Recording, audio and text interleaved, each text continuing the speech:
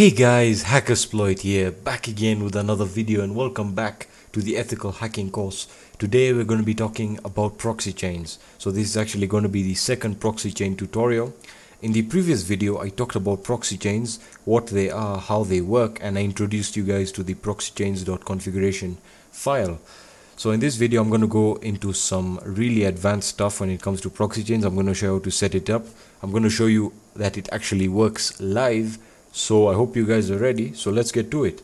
Uh, so like any other ethical hacking videos, it all begins in the humble shell of the terminal. So open up your terminal and let's get started. So uh, in the previous video, I was using the nano editor and I'm going to keep on using the nano editor. Now let me explain why. You guys might be asking yourself, well, there's the Vim editor and there's so many others. Why aren't I using any of those? Well, I'm trying to keep these tutorials as beginner friendly as possible so that almost everyone can understand them and it's very easy for them to grasp the concept of editing a configuration file in the terminal. So let's get started. Nano and we're going to access the uh, proxychains.configuration file.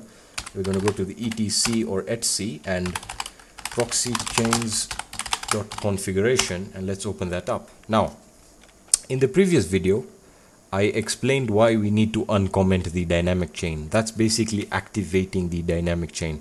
Now the dynamic chain will basically allow the IP IP addresses to change in a very dynamic um, in a very dynamic manner, and I explained that in the previous video um, about how, it works. For strict chain is gonna it's basically gonna go through a series of IPs, but they basically it's easier to detect because those IPs will be just repeating themselves. And a random chain, this is basically one of the worst ways of uh, proxy chain anonymization. And for very obvious reason, random, each connection will be done via random proxy. And that, if your proxy, it doesn't work, you're basically stumped. And you have to restart the process all over again. So let's go all the way down. Now, I also told you to uncomment the proxy DNS requests, no leak for DNS data. This will basically will um, will prevent leaking of DNS data. So you're if, even if you're not uh, using a custom DNS that's in not in your country, it'll actually it'll actually just follow the IP's DNS to whichever country that's in. So this is very important. Make sure that that's active, and you can do that by uncommenting, as I did with the um, the the uh, dynamic chain up there. So let's go down all the way to the example section. Now in the example section, I told you guys to take a look at the format of the of basically how a proxy chain or a proxifier DNS works. Now, this is the proxifier DNS. This is SOCKS5. That's what you're going to be using because it's the safest and it's the fastest really. And this is the address of the proxy. Not nothing really to say there. That's basically just the address. You then have the port. You guys know what ports are and right here a lot of people have been asking me what this is. Well basically this is the username and password examples.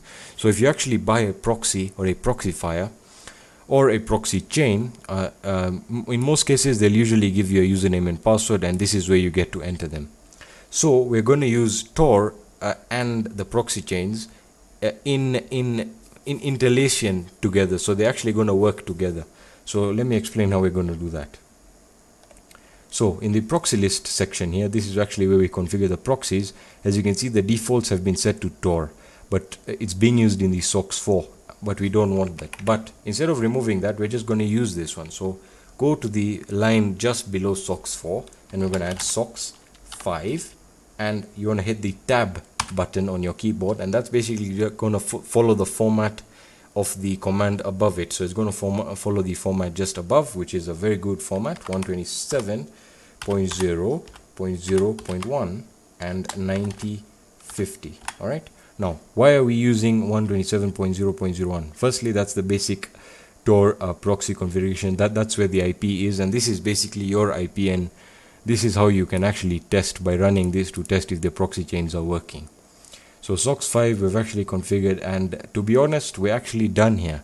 Now I'm going to show you the proxy chains working with an example uh, or actually I'm just going to run it live. So we're going to save this file and to save the file you want to hit control O and it's going to ask you if to, to write uh, to, to write the changes and I'm going to hit enter and it's written and to exit the nano editor hit control X alright and we're going to clear the console and finally we can begin uh, checking so the first thing we're going to do is we're going to check if the Tor service is running.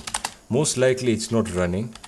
Uh, so let's check. Uh, Tor service actually it is running. Um, well hold on. All right. Uh, so what I'm gonna do is um, what I'm gonna do is is I'm gonna close this terminal and I'm gonna open another one and I'm gonna stop it. Stop uh, actually hold on. It's service Tor stop all right? And i have stopped it. If yours is not open don't worry just skip this step. Uh, and we're gonna start it again. Service. Tor start all right? And I'm gonna hit service service Tor start and it's it's gonna start the Tor service. Now we can actually begin with the proxy chains as I explained, we're going to using uh, we're going to be using the Tor proxies with uh, we're basically going to using the Tor proxies with the proxy chains configuration file at least for this video. Uh, so uh, the way to test this is we're going to type proxy chains proxy chains. We're going to use a browser. I'm going to use Firefox. That's basically whoops my typing today is pretty bad Firefox you can use Iceweasel and basically Iceweasel is just Firefox uh, so we're going to use Firefox anyway and we're going to uh, enter a test website to test whether the proxies are working. I'm going to use www.duckduckgo.com and the reason I'm using this is not anything uh, particular uh, I just want to also recommend this uh, search engine to you guys. I know you guys are very fond of Google, but DuckDuckGo is one of the sites uh, or search engines that does not keep your IP addresses and track you. So it's in terms of anonymity and when you're performing like WHOIS scans on targets, I would recommend DuckDuckGo. It just keeps you safer. But anyway, we're using proxy chains. So all you have to do is hit enter and it's going to start proxy chains and it's going to open Firefox and it's going to open www www.duckduckgo.com. Obviously, it's going to take a while because it's running through the proxy chains. And uh, just give it its time and it should start, it should open up DuckDuckGo. And there you have it, it's opened up DuckDuckGo. But you might be asking, how do I know I'm anonymous or how do I know I'm safe? Well, firstly, let's look at the terminal. So as you can see, you're going to see um, that it's basically accepted these IPs and you don't have to worry about what it outputs here. So to test it, I'm going to check for DNS leaks. Now, how do we check for DNS leaks? We're basically just going to do a DuckDuckGo search, check for DNS leaks, all right? And it's going to hopefully return some results. That was very quick. And we're going to test the DNS leak test, all right? So let's open that up. Uh, all right, so as you can see, it said my address is 176.58.198 from London, United Kingdom. I can tell you for a fact that I'm not in London in United Kingdom. I'm well, I'm really, really, I'm really far from here. So as you can see, it's actually working. And if we start the standard test to test whether any DNS information was leaked regarding my real location, we'll see that it's probably going to give us a UK DNS. Or it's actually given us a German DNS. So that's actually even better. It just makes you more anonymous. Now, you guys might also be asking how do we know this is working and my IP will be changing? Well to do that I'm just gonna close this browser and I'm gonna say um, service Tor stop or I could say service Tor restart to save the time alright and uh, once that's done I'm gonna clear this and I'm gonna say I'm gonna run the previous command the proxy chains firefox duckduckgo.com just to test that and let it start up again and there you are it should start up again depending on which proxy it's using it'll either be faster or slower. If it doesn't work don't worry just give it a few seconds and it should it should work uh, because it'll go through this the series of proxy chains as you can see here. And some will be denied and some will work. Anyway it's return duckduckgo so we can actually perform the DNS search again. So check for DNS uh, DNS leaks all right again very fast. Let's check for DNS leaks. And we should hopefully have a different IP and there you are guys. It's actually giving us an IP from Prague the Czech Czech Republic. Sorry if I butchered that. Um, let's check what uh, DNS it's giving us. Let's see what DNS it's giving us. Very nice. It's running the test. A bit slow but uh, it's worth it whether you're performing scans or SQL injection and there we are Germany. So this is actually pretty cool and I've actually shown you guys that it really does work. If you use this method you're going to be anonymous and uh, that's all I can really say. Uh, knock yourselves out. Go ahead and do anything you want.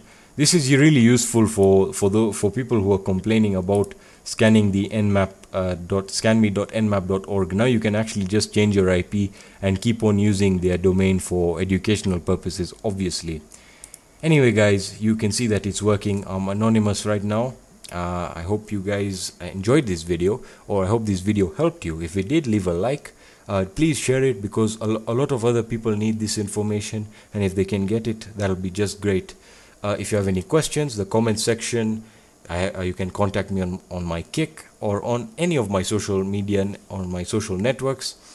Anyway guys thank you guys so much for watching the video. Peace